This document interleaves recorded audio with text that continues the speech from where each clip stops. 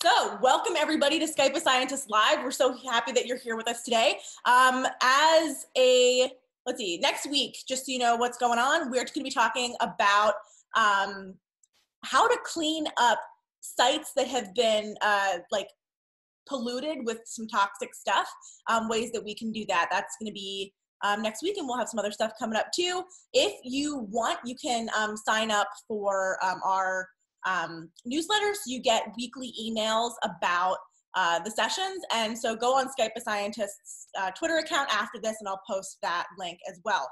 Um, just so we know, this is a nonprofit organization, and so we uh, this is my full-time job running this program and connecting scientists with as many people as humanly possible and we're really pushing right now to be able to hire a part-time staff member because this program has gotten so big during this coronavirus time which is awesome um, but also means we need a little bit more help behind the scenes. And so if you can help support us that would mean the world to us um, and we can do more cool stuff um, if we have more support. You can do that at patreon.com slash skype a scientist or uh, for one-time donations, you can do paypal.me slash Skype a Scientist. This week has been super awesome because we've teamed up uh, with the Natural History Museum in Los Angeles County to uh, bring awesome people who work at that museum um, to talk to us. And today we're going to be hearing about sharks and fish um, with Bill Ludt. And so with that, um, I think I'll hand it over to you, Bill. Sounds great. Well, thanks everyone for uh, being here. Uh, today, I'm just going to share a little bit about what my job is like at the Natural History Museum of Los Angeles County. So if you've never been to the Natural History Museum in LA, um, I highly encourage you all to visit, but I'm going to give you a little, before we chat and get into our discussion and questions, I'm going to give you a little bit of a virtual tour of the museum and really more specifically what happens behind the scenes. So I'm going to share my screen really quick. Okay. So if you've never been to the Natural History Museum, this is what it looks like on the outside. We have wonderful nature gardens. Uh, we have a very cool whale skeleton uh, and always, always a lot of different flyers and advertisements for um, exhibits that we have traveling through the museum. And like many museums, you can go inside and we have a lot of wonderful dioramas, uh, and other exhibits that really highlight life on our planet, both extinct and currently alive. So you can see skeletons of things uh, like dinosaurs that lived a long time ago, uh, or large mammals that lived a little bit more recently, or currently living animals uh, you can see in dioramas that look like what they would look like in their natural environment. But what while we do love these exhibits and take our job um, very seriously as educating the public and showing them life on our planet, one thing that people don't get to see, unfortunately, many times, uh, is what happens behind the scenes. And that's kind of what I want to talk about today. So, behind the scenes in any natural history museum that is a research active natural history museum, we have a lot of biological collections. So you might go behind and see scenes like this, where you can have boxes or drawers or shelves full of specimens that come from all over the world uh, and that were collected at many different times. So again, you might see a lot of birds uh, or insects or boxes full of skeletons. Again, just documenting life on our planet uh, and life on our planet, how it changes over time as well. Now, my job specifically deals with uh, fishes. So my official job title is the Assistant Curator of Ichthyology. This is really just a fancy way of saying two things. Uh, the first thing, it's a fancy way of saying that I'm a fish scientist. That's the ichthyology part. And then the other part of my job is uh, the curator part, which is taking care of a large fish collection. And why fishes, I get asked a lot. And I research fishes because I think they're absolutely fascinating uh, and they're extremely diverse, and that's what I find very appealing about them. Here on our coast in California, you can see really wonderful and diverse and kind of strange looking fishes, everything from a large California sheep's head on the upper left to very colorful orange Garibaldi, which is our state fish in California, to very creepy kind of looking sarcastic fringe head, uh, which might look like an alien from the Predator movies. But if you look at fishes all across our planet, you see even more remarkable diversity. You see fishes coming in many different sizes and shapes, colors, uh, patterns. They live in very different habitats. And so my own research really aims to kind of figure out how this diversity evolved uh, and where fishes have lived on our planet and how that's changed over time. So that's one aspect of my job is the, the research part. But the part that I really want to talk about today uh, deals with our collections at the Natural History Museum of Los Angeles County. So I like to think of our collections kind of like a library. Uh, library has a lot of books. Each book is full of uh, information. It can be published at different points in time. Uh, they might be published all over the world in different places. And so our collection is just like a library, except instead of books, we keep fishes. A lot of people tend to ask if it looks like this, a room full of tanks with live fishes in it. Uh, we actually don't have any live fishes at all. All of our specimens are preserved research specimens. And our collection actually looks like this. This is officially titled the Robert J. Lavenberg Fish Collection. Uh, it is named after one of our most influential uh, past curators, Bob Lavenberg. And you can see it's full of rows and rows of movable shelves. If you looked at any of these shelves, you'll see that they're full of jars and metal tanks. And all of these jars are our books, essentially, in a library. Each jar has fishes in it that is, are full of different types of information. Most of our specimens uh, look are adult specimens that can look very different. So these are preserved specimens. You can see that they've lost a lot of their color. Uh, they unfortunately lose color in the preservation process. But in, in addition to keeping adult specimens like these, uh, we also have different types of specimens that we keep because different researchers want to look at uh, and study different things. So we have a large skeletal collection, which includes uh, everything from large shark jaws to skeletons of small and large fishes. Most of our skeletons aren't articulated like this. Uh, they're kind of uh, disarticulated and just in boxes. Uh, but we also have a different type of specimen that allows researchers to look at bones as they are in the fish's body. So we have a large collection of cleared and stained material. These are specimens where we use a special enzyme to digest away uh, skin and muscle. Uh, so you can see through the fish uh, and we can stain bone and cartilage different colors with different dyes, allowing you to study the bones in the fish. And we also keep uh, collections of larval fishes or baby fishes uh, because they look very different than adults. Uh, and also we keep a collection of otoliths, which sometimes are called fish ear bones or ear stones. Uh, otoliths you can do a lot of different research on, um, but a lot of people will use them kind of like uh, tree rings to figure out how old a fish is. So kind of how a tree adds different rings as it gets bigger and grows older. Otoliths kind of act in a similar way. So those are some of the physical specimens that we have in our collection. Uh, we also like to keep a lot of digital information associated with each specimen too, just to increase the amount of information uh, for everything in the collection. So when we're in the field, uh, this is a close friend of mine, Caleb McMahan, who works at the Field Museum of natural history. And what we'll do when we're in the field, we uh, will take pictures of the site like this river here. But you can also see in this picture that we're setting up a camera to take uh, digital images of fresh specimens. Um, so we can get nice live coloration. Like I said, when we preserve fishes, the color goes away, but that color can be very important. So we take live uh, pictures of color and we also take fluorescent images if we can, uh, because some fishes biofluoresce, that is, they reflect wavelengths of light that we can't see with our naked eyes. But using special filters, we can also get this information that the fishes might be using uh, to see one another as well. In addition to live colors, we keep other digital media uh, like x-rays, but more recently, actually CT scans. So if someone can't visit our collection, uh, physically, they can actually still access information online and still do the research they want to do. Um, so they can download these CT scans and look at any bone uh, that they might want to see, or they even might get little extra bits of information, like in this case, what a fish was eating before uh, it was collected. You can see there's some stomach contents there. And we keep genetic information too. So we take genetic samples uh, tissue samples from each specimen. Different researchers can sequence this and uh, figure out uh, the sequence of DNA in each specimen, and we can store that information and associate with each specimen. So in many ways, that's how I view our collection, kind of like a library. Again, each book in a library is full of information. Each fish we have is also full of information, and they come from all over the world and from different time points as well.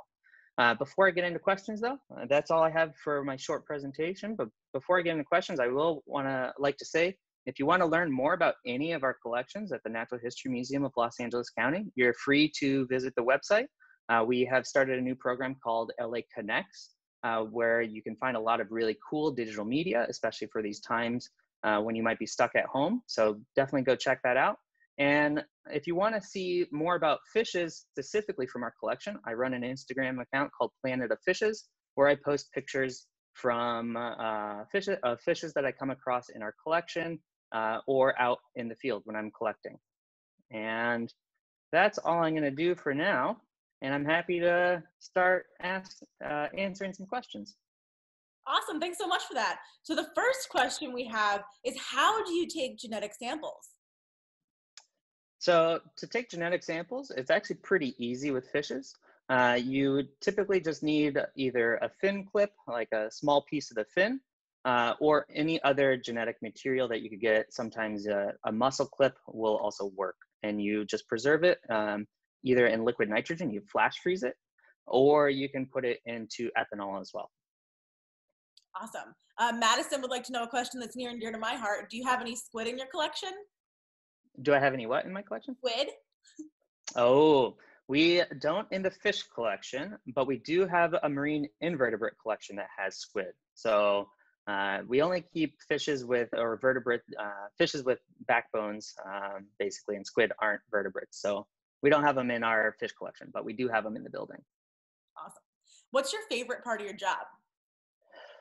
Favorite part of the job uh, is definitely going out and collecting fishes. Um, traveling the world to see uh, very cool exotic fishes from different locations things that are new to me and sometimes even new to science.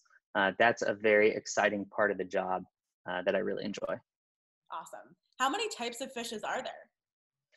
So currently there are over 35000 recognized species uh, which is just a massive amount of uh, described fishes on our planet, but that number is only increasing year after year. Uh, if you go to, there's an online repository of valid accepted species of fishes actually uh, called Catalog of Fishes. And if you go to that website, you can actually look at how many species have been described each year. And in nine out of the last 10 years, more than 365 species have been described on average in nine out of the last 10 years. So more than one new fish per day, basically. So that number that so, number just keeps on going up. That's wild. Um, let's see. Do you have any alligator gar in your collection? Yeah, we do have alligator gar. So we have a couple different types of gar in the collection. Uh, gar are very cool. They have very tough skin. Um, and I did my PhD in Louisiana where there's a lot of gar, so I, I really like those fishes they're so cool. I like them so much. I also uh, there's a guy named Solomon David on Twitter who oh yeah just talks about them all the time. So if you're looking for an engaging person to follow on Twitter for science, he's awesome and really is like the biggest cheerleader possible for the for the GAR. Um, let's see. Anna would like to know what's the most interesting specimen you've ever collected. Hmm. Some of the deep sea fishes that you come across are the most interesting, just because deep sea fishes can get really strange. Um, so one of the fishes that I think is is the strangest. I'm going to share my screen again, just really briefly, but we have in our collection a fish called a barrel eye, sometimes a spook eye fish, uh, or tube eyes these are really weird specimens. So basically, this fish has a transparent skull. It can look up through its skull. It can rotate its eyes forward and up. It's a deep sea fish. Uh, and some of those are just always the weirdest when you come across them. So I think those might be some of my favorites. That's cool. Um, let's see. How many sharks do you have in your collection? Ooh, that's a that's a that's a good question. I don't know off the top of my head exactly how many shark specimens we have. We have two full rows of those compactor shelves uh, full of sharks, though. And in fact, in addition to jars on the shelves, we also have a lot of large metal tanks for larger specimens. Uh, and a lot of our tanks have sharks or rays, um, larger specimens in them. So we have a decent amount of sharks in the collection. Cool. Um, do fish have ears? Do fish have ears? Not like you would think with us. Uh, so no external, uh, you know, body parts that channel sound, but fish can hear, um, and they have those ear bones or otoliths that we call. So it's not quite the same as what you might be thinking of as ears. Cool. Um, what's the biggest fish that's ever existed?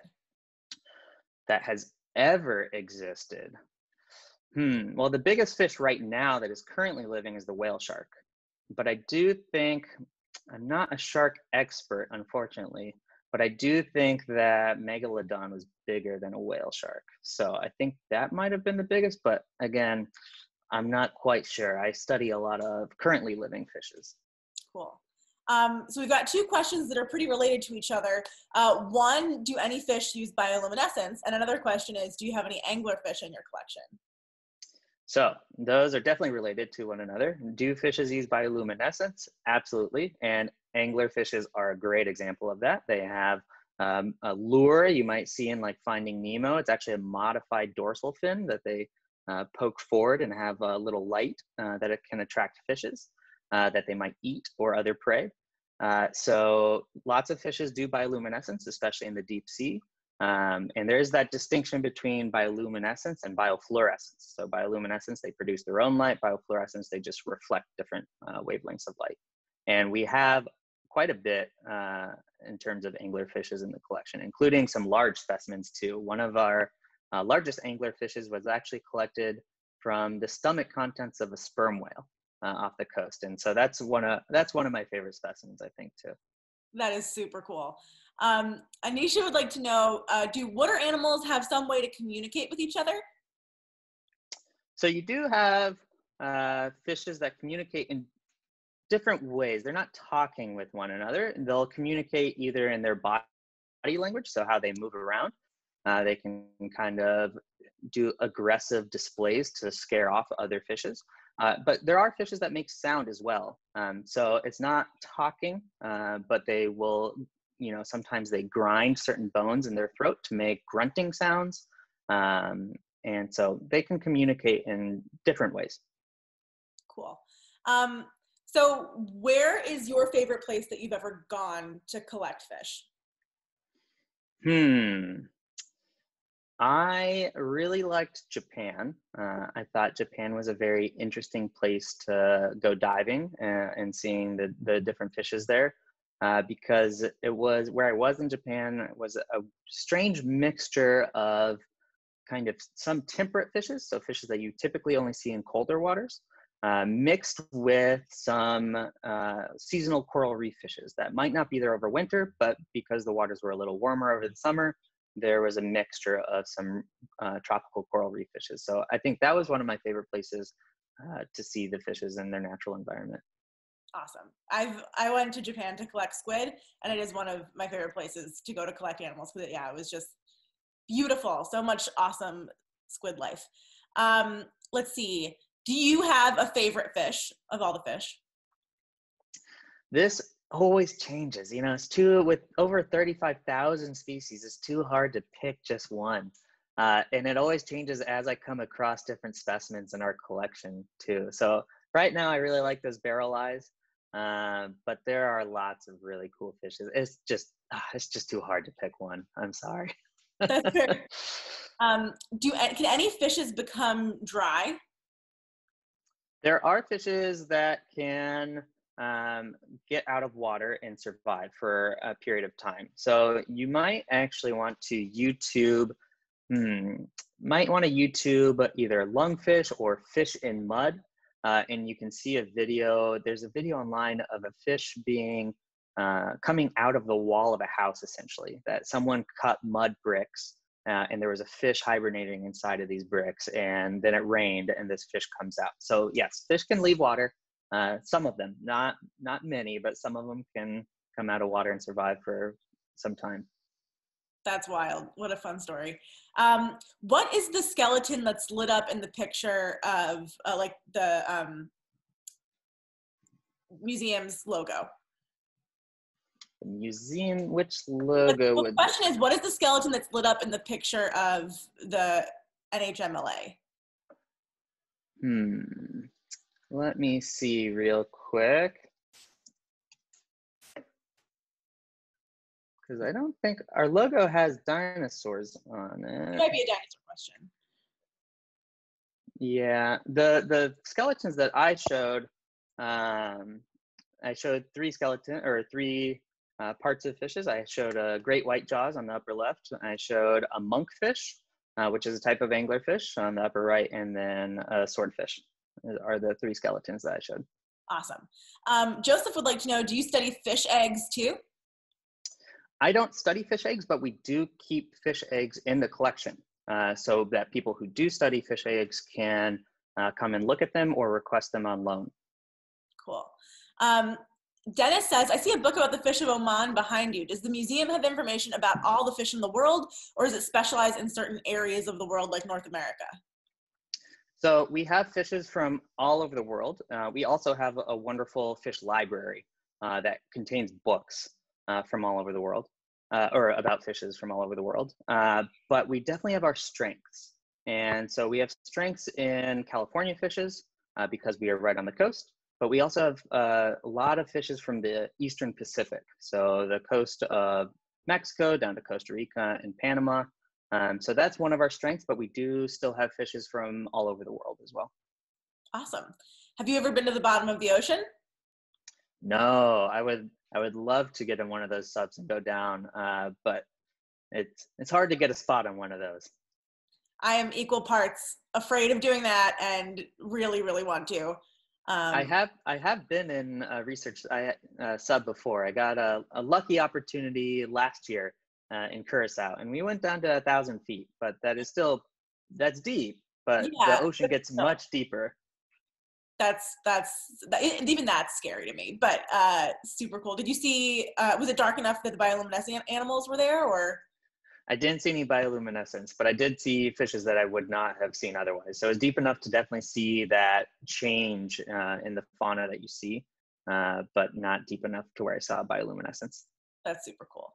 Um, let's see. So here's a question um, that's just sort of basic. What makes a fish a fish?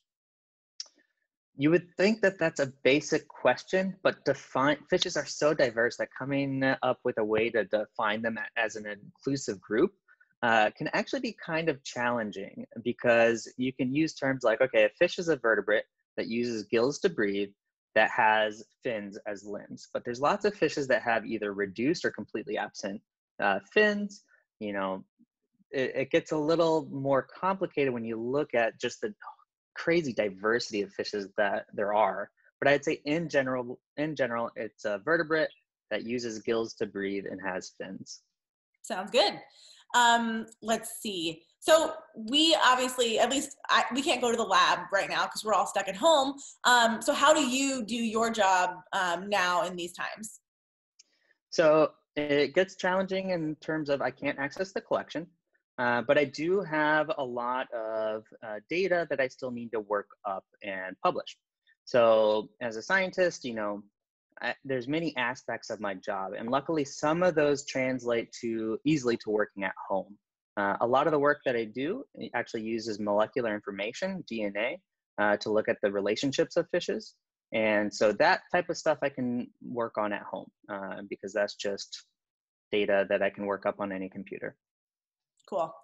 Um, someone says, what is your opinion of blobfish? Blobfish, I like them a lot. Uh, they're really weird. We have a, a couple blobfishes in the collection. Um, we even have a paratype of one of the species, and a paratype is just uh, one of the specimens that was used when a species was actually described. Uh, so in that process of describing the species. And so I really like blobfishes. Uh, they're super weird. Um, one of those strange fishes that just is very enigmatic and really cool. Awesome. Agreed. Uh, Linda has a cool question here. Do the fish at the deepest depths of the ocean have eyes? Do they even need eyes? They have eyes. Sometimes they have reduced eyes. Uh, it depends on the species that you're talking about. But a lot of those fishes really deep have reduced ossification. That is, their bones aren't as calcified. Um, so there are adaptations to living that deep, but some of those fishes do have eyes, or at the very least, very reduced eyes. Very cool. Um, Elijah wants to know uh, how do you, so if you find a fish, do you immediately know what kind of fish it is? Or do sometimes you have to kind of like figure it out by going to the books or how do you do that? This is a great question um, and something that I think a lot of people don't think about. With 35,000 species, I would wager a bet that no one knows all the fishes on the planet. There are some people that are extremely good and can identify a lot of what they come across. Uh, but it's just there's too many fishes to know them all. Um, so we do our best. Uh, we can very quickly generally reduce the possibilities down. Uh, so most of the time we can identify things uh, in areas that we go to commonly. So we know what's there. But every once in a while you'll come across something that can be really hard to identify uh, and you'll have to ask an expert. Uh, so a lot of the times um, we have experts coming through the collection because they want to study the fishes that they specialize in. And so they'll look on the shelves and they'll see some things that might not be identified all the way down to species. It might just be down to the genus that it's in uh, and then they'll give you an ID. This is especially true with really tiny fishes like little gobies and blennies. Uh, gobies especially can be really hard and challenging to identify, and there's people that specialize just in those fishes. That's cool. Um, Justine Flores would like to know what is the biggest fish in your museum, and how big exactly is that? So we have a couple really large fishes. Uh, we have a megamouth shark, uh, which is probably our heaviest specimen. I haven't weighed it myself, but it is quite large. Uh, I know that it's so heavy that to move it actually would be quite a challenge. Um, and then we have a couple uh, oarfishes. Uh, those are the longest bony fishes on our planet.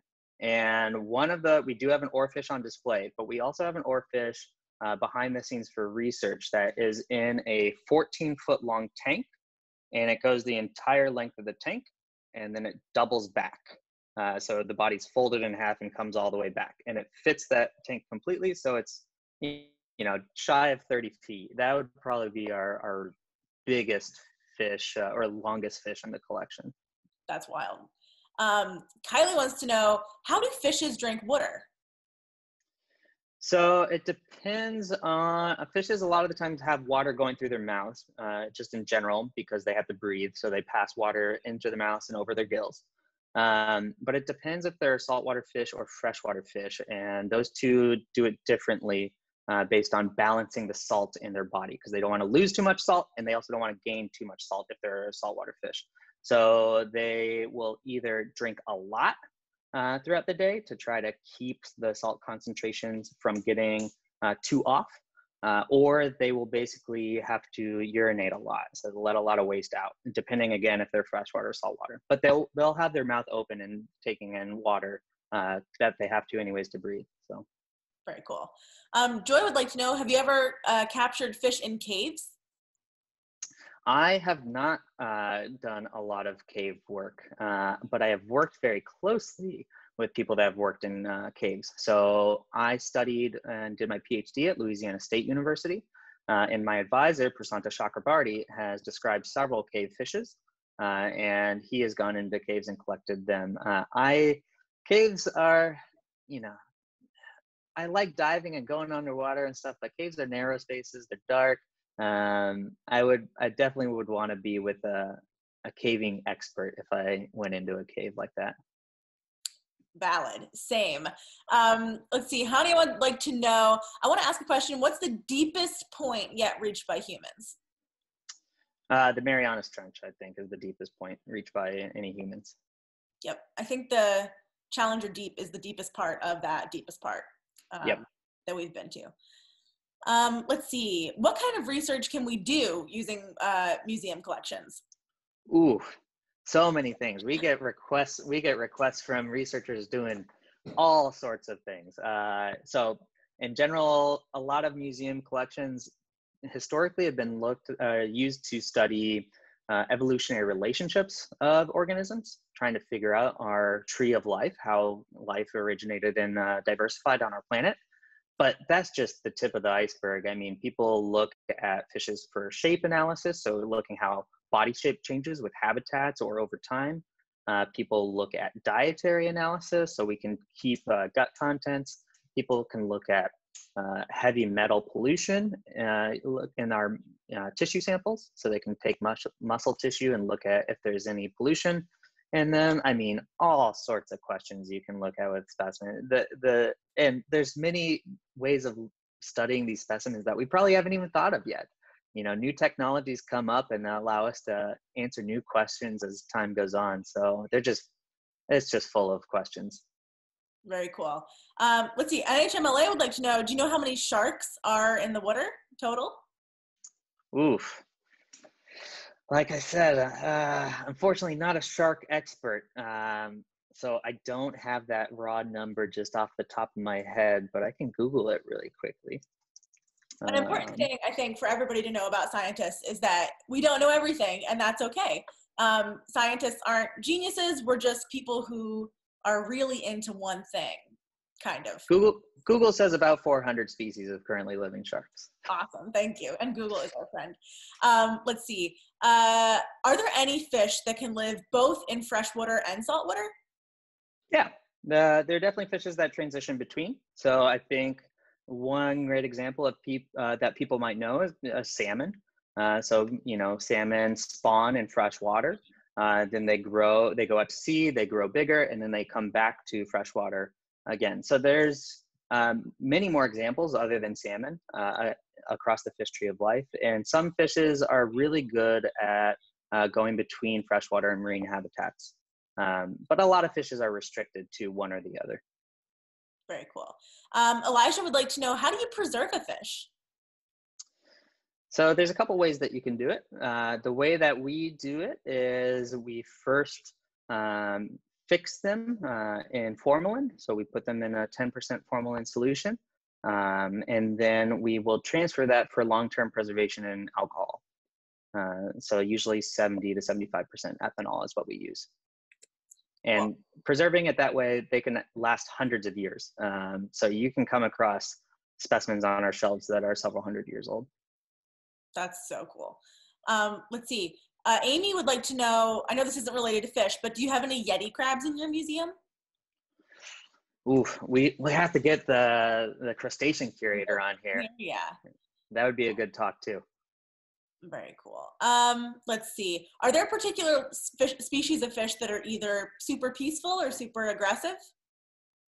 I'd say most fishes really don't want to be messed with by you. So I'd say most are pretty peaceful. Um, they're usually kind of scared of you, um, but there are definitely some aggressive ones.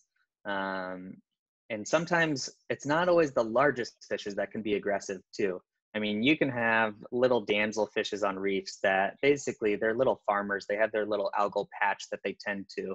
Uh, and these tiny little fishes will come at you. I mean, they're not going to hurt you, but they'll be quite aggressive. So sometimes you know it's not always the ones that you might think of that are aggressive uh, or that have aggressive behaviors uh, but most fishes kind of want to avoid you if you're in the water because you probably look really scary to them in your big scuba gear with uh, you know loud bubbles coming off of you so.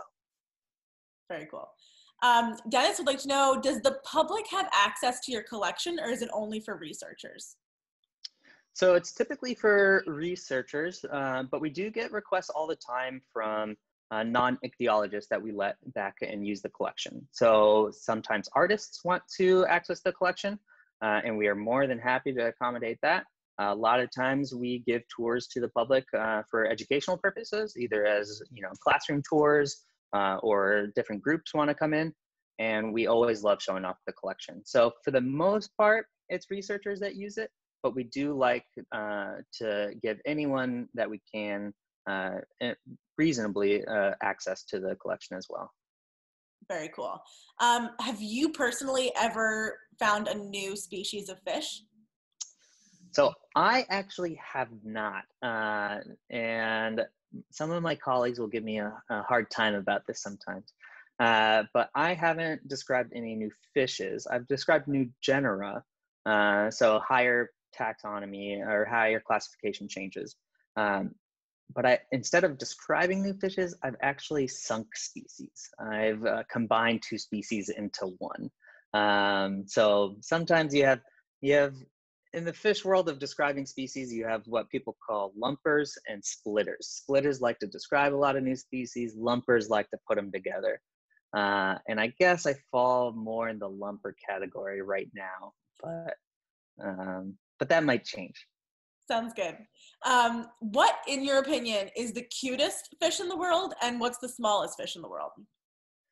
Smallest fish, there's a couple really small fishes. Um, the genus Schindleria, uh, called infant fishes, are extremely small. There's also a really tiny cyprinid uh, called Paedocypris, uh, and those are some of the smallest vertebrates on our planet. Uh, the cutest fish, ooh, that's pretty subjective. Uh, and I would say, you know, everyone really likes a spiny lump sucker. These are tiny little fishes in intertidal zones that you know suction onto rocks, and they're. If you don't know what one is, you should you should look it up. They're they're pretty cute. They are incredibly cute. I, I co-sign that answer. That's incredibly incredibly cute. Um, here's a cool question: Do some fish give live birth, or do only mammals do that? No, there's a lot of fishes that will give live birth. Um, a lot of sharks do it. Uh, in fact, in sharks, you can see all different types of um, ways that they give birth. So some sharks will lay egg cases, some will give live birth. So there are definitely fishes that will give live birth. Very cool. Um, we've gotten a couple questions about fish intelligence. Do you have any examples of uh, super smart fish? So fish intelligence, um, there's a whole field of research of people looking at uh, how smart fishes are or how good their memory is. Um, I wouldn't know off the top of my head like what the smartest fish would be, uh, but they're not necessarily as dumb as people might think. Uh, so they can remember they can remember more than that common saying goes of your goldfish can't remember anything. Cool. Um, let's see. Could you talk more about why uh, that fish that hangs out in the mud would go into the mud to hibernate? So I talk more about why it would hibernate. Um, it probably why would hibernate. So this to do that.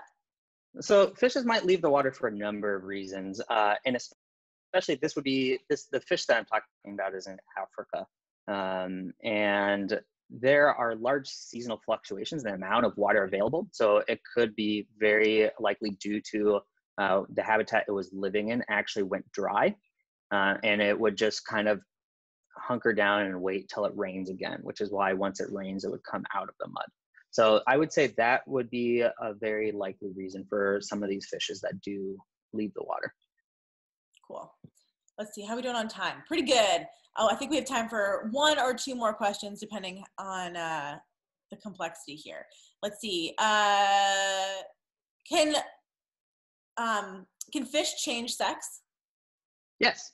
Yeah. So you can have uh, a lot of fishes are either sequential hermaphrodites, so they will go from one sex to another. Uh, great examples are parrotfishes and wrasses do this a lot, uh, but also clownfishes will do this. Um, and but then there are also um, simultaneous hermaphrodites as well. So you can have fishes like hamlets that can be both male and female at the exact same time. So there's a lot of weird uh, breeding mechanisms in fishes. Very cool. Okay, final question before we do our final, final questions. Um, can fish change color? Yes. Uh, in fact, you can. There are definitely some really cool clips online of uh, some reef fishes that can change color, um, but you can find a lot of good examples of fishes changing color. Awesome. Um, and some fishes change color from day to night, right? Yeah. That's awesome. Okay, so thank you for all your answers. We always try to keep these to about 45 minutes. Um, but just a heads up for our audience, you can request a fish scientist to talk to you um, and just your family or your classroom at home whenever you'd like.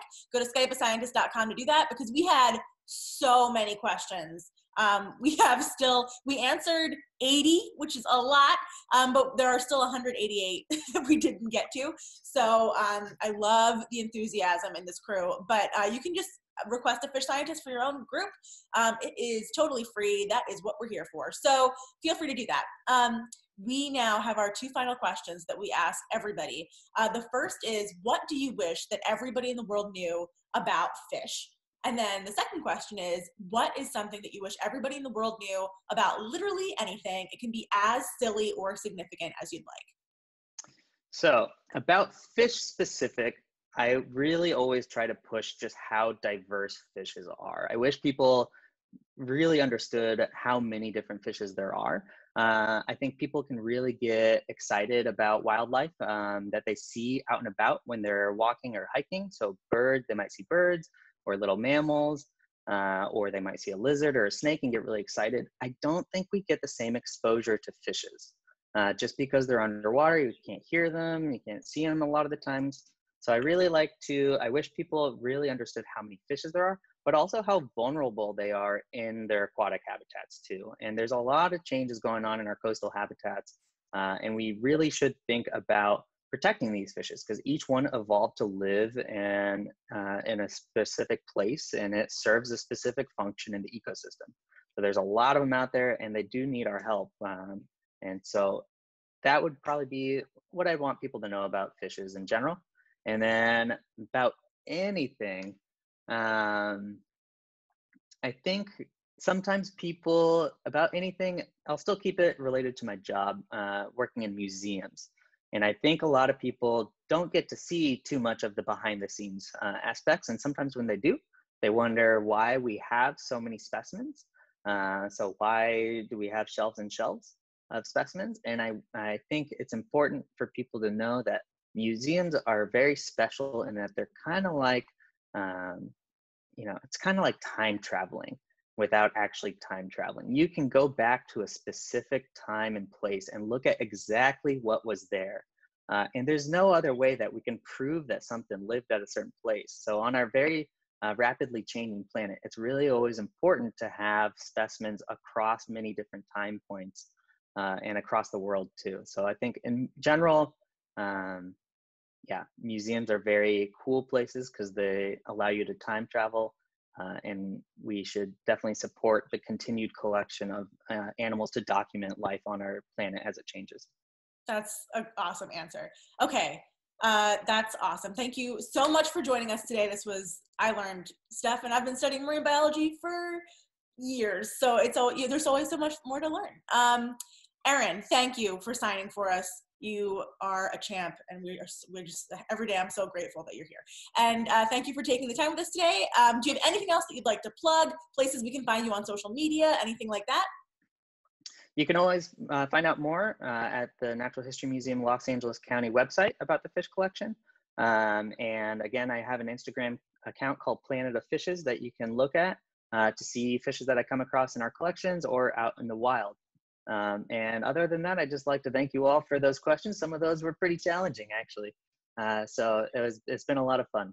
Awesome. Thanks again. Um, just as a reminder, you can go to our Twitter account. That's twitter.com slash Skype scientist. Um, and in a minute or two, I will post the link where you can sign up for our newsletter.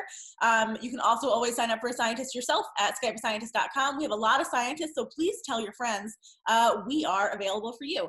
Um, and with that, you can always get our um, schedule for Skype a Scientist on our website as well, so you can see what Skype a Scientist live sessions we have coming up and support us at patreon.com slash Skype a Scientist or paypal.me slash Skype a Scientist. Truly, every little bit helps um, over here. So thanks again, and we'll see you next week, everybody.